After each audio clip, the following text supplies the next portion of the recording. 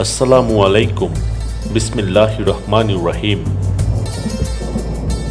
বিশ্বের বুকে মুসলমানদের অতি পবিত্র নগরী মদিনা মুনাওয়ারা। মদিনা মুনাওয়ারার সাবেক নাম ইয়াসরিব অর্থ তিরস্কার। মহানবী সাল্লাহ সাল্লাম এর আগমনের পর এর নাম হয়ে যায় মদিনাতুর রাসুল। বা রাসুলের শহর। মহানবী সাল্লাহ মক্কা মোকররমা বিজয়ের পর মদিনা মুনাওয়ারায় চলে যাওয়া এবং সেখানেই থেকে যাওয়াকে বেছে নিয়েছিলেন। মদিনা মুনাওয়ারা অধিক মর্যাদাবান, কারণ নবী করিম সাল্লাহ আলাইসাল্লাম নিজেই সেখানে সাহিত্য রয়েছেন।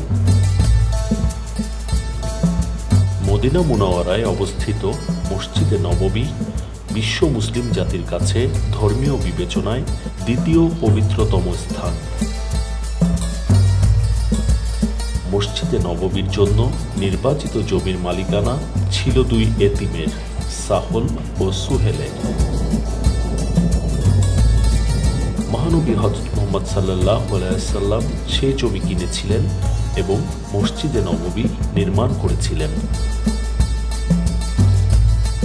সকল আনসার, অভিবাসী এবং নবী মোহাম্মদ সাল্লাহ আলাইসাল্লামের সাহাবিগণ এই নির্মাণে অংশগ্রহণ করেছিলেন। নবী মোহাম্মদ সাল্লাহ সাল্লাম নির্মাণে হাত দিয়ে সাহায্য করেছিলেন।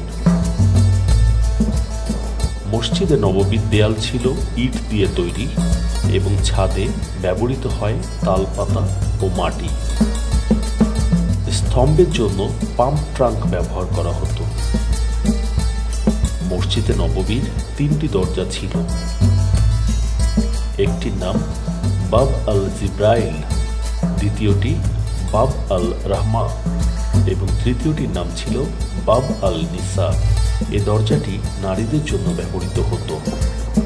দরিদ্র অভিবাসীদের আশ্রয় দেওয়ার জন্য মসজিদে নববীতে একটি ছাদ তৈরি করা হয়েছিল।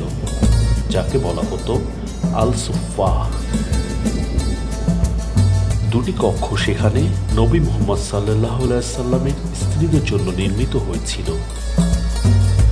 একটি ছিল হজরত আয়সা রাদি আল্লাহ আনহু এর জন্য এবং অন্যটি ছিল হজরত সাউদা রাদি আল্লাহ আনহু এর জন্য। পবিত্র মসজিদে নববী সাল্লাহ সাল্লাম তথা মহানবী সাল্লাহ সাল্লামের রওজা পাকের দুপাশেই রয়েছে নবীজির প্রাণপ্রিয় সিদ্দিক ইসলামের প্রথম খলিফা হজরত আবু বকর রাজি আল্লাহ আনহু এবং দ্বিতীয় খলিফা ফারুকে আজম হজরত ওমর রাজি আল্লাহ আনহু এর রওজা শরীফ। আল্লাহ আমাদের সকলকে নুরানি নবীজি সাল্লাহ সাল্লামের নুরি রওজায় আকদাস শরীফ জিয়ারতের মাধ্যমে জীবনকে ধন্য করার তৌফিক দান করুন। আমিন।